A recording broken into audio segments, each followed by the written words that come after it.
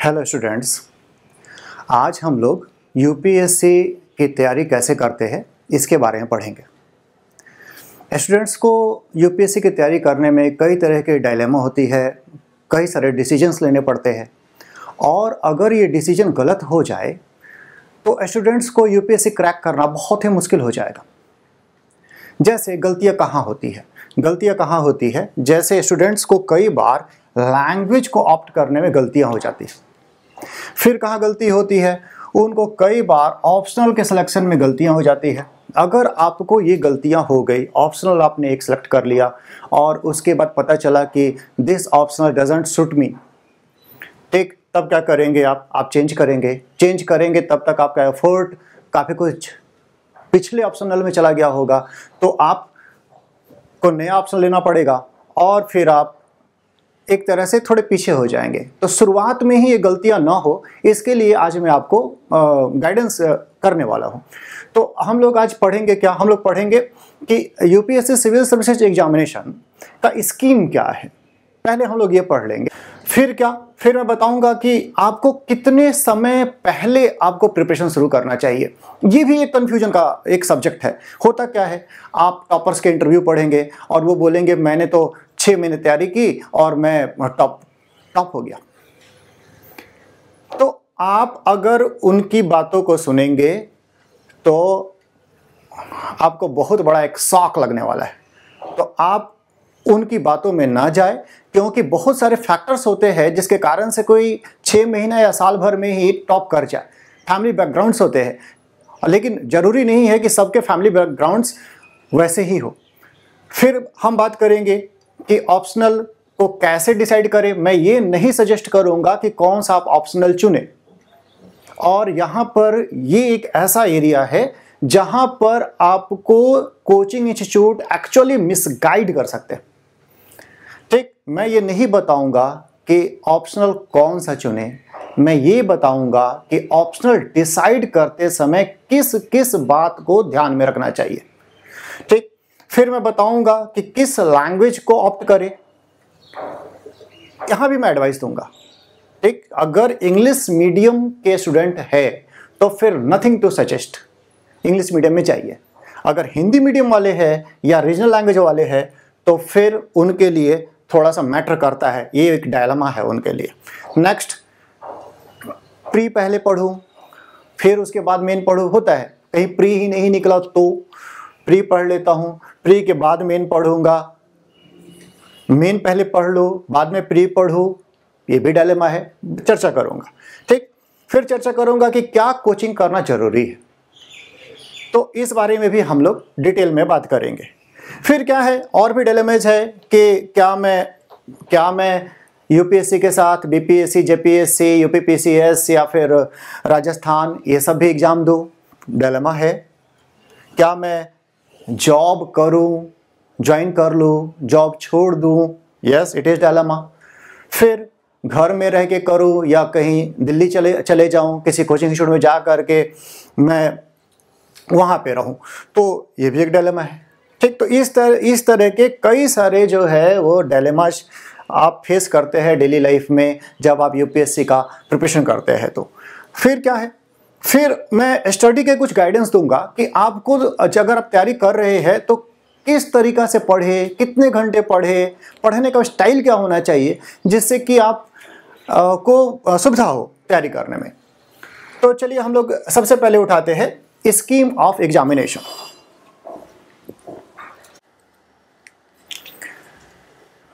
तो यहाँ पर मैंने यूपीएससी के एग्जामिनेशन का स्कीम लिख दिया है।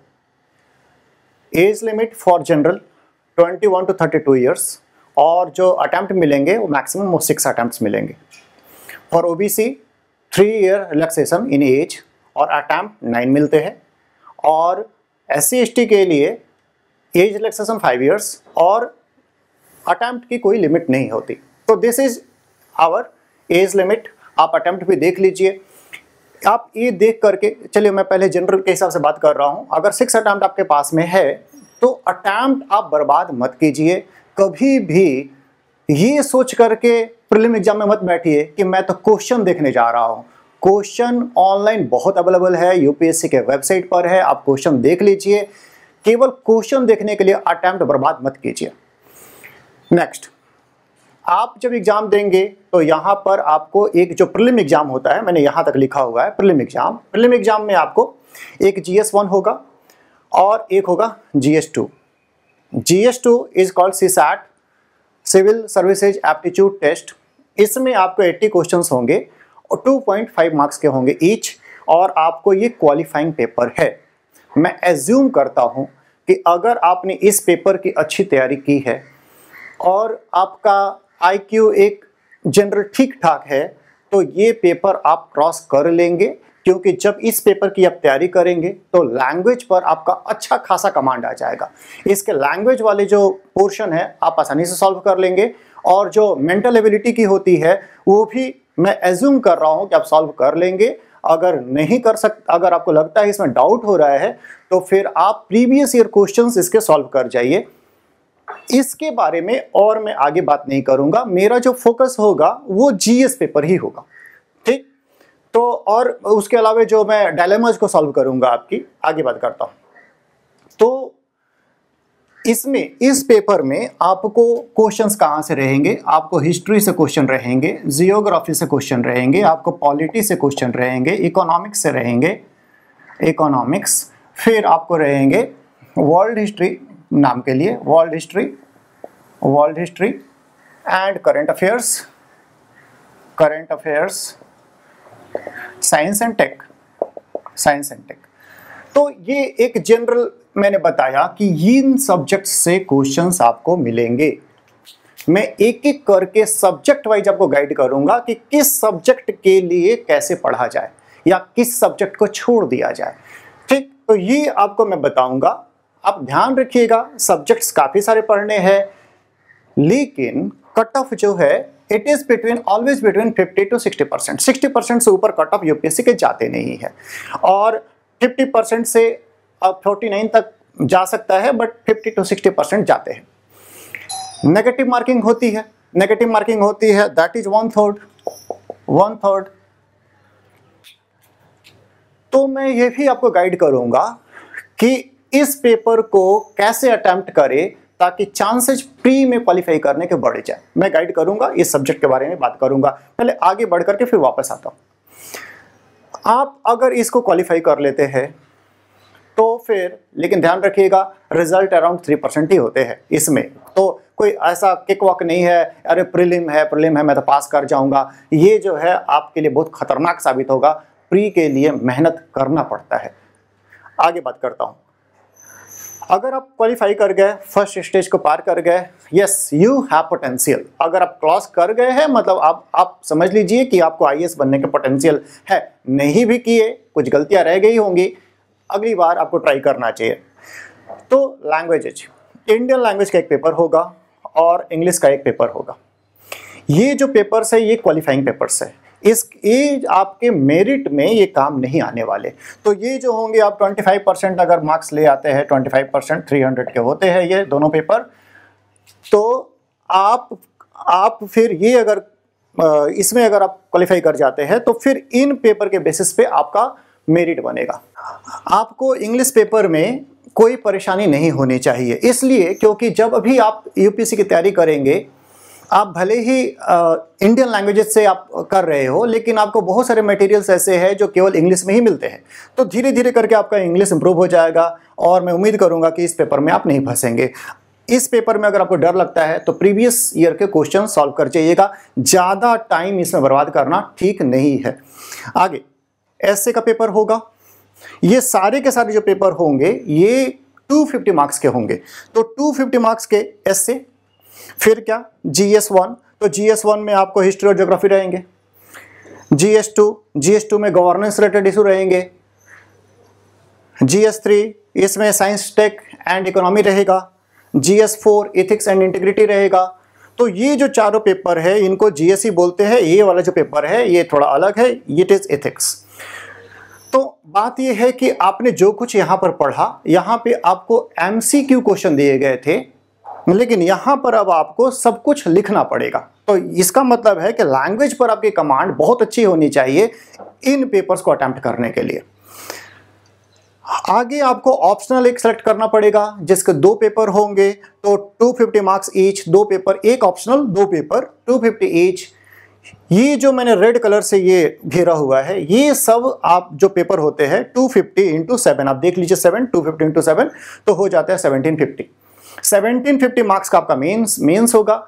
और इसमें आप अगर 50 परसेंट भी ले आते हैं तो बहुत अच्छा मार्क्स है। 50 परसेंट, फिर आपको उसके बाद इंटरव्यू होगा 275 मार्क्स का। और आप दोनों को मिला करके, इन दोनों को मिला करके आपका मेरिट बनेगा। तो ये ये सारा का सारा स्कीम है। अब मैं एक एक करके आगे बातें डील करता हूँ। तो अब हम लोग प्रिपरेशन के मोड पर आते हैं। आपने फैसला कर लिया है कि आप यूपीएससी एग्ज़ाम में अपियर होंगे। The best time to start prepare is two year in advance. जितना पहले तैयारी शुरू करेंगे, उतनी ही आपको फ्यूचर में सुविधा होगी। मैंने मिनिमम टाइम फ्रेम बताया, दो साल पहले तैयारी करना शुरू कर दीजिए। आपको यहाँ पर आप मिसगाइड हो सकते हैं, आप कोचिंग इंस्टीट्यूट में जाएँगे आपको बताया जाएगा कि एक साल में प्रिपरेशन हो जाएगी, आपको बताया जाएगा, आप टॉपर्स का इंटरव्यू पढ़ेंगे टॉपर्स आपको बता देंगे कि मैंने छः महीने में एग्ज़ाम क्लियर किया है। अब ये बातें सच है या गलत है, थोड़ा सा मैं डिस्कशन कर लेता हूँ। कभी कभी ऐसा कहा जाता है कि मैंने छः महीने में एग्ज़ाम क्लियर कर लिया, इसलिए कहा जाता है ताकि हमारे आसपास एक और क्रिएट हो। लोग सोचे कि क्या दिमाग है। तो अगर इस पर्पज से कोई आपको बताता है तो ही और सी इज़ मिस गाइडिंग लेकिन एक बात और भी मैं कहूँगा कि कई लोग सही में एक्सेप्शनल होते हैं।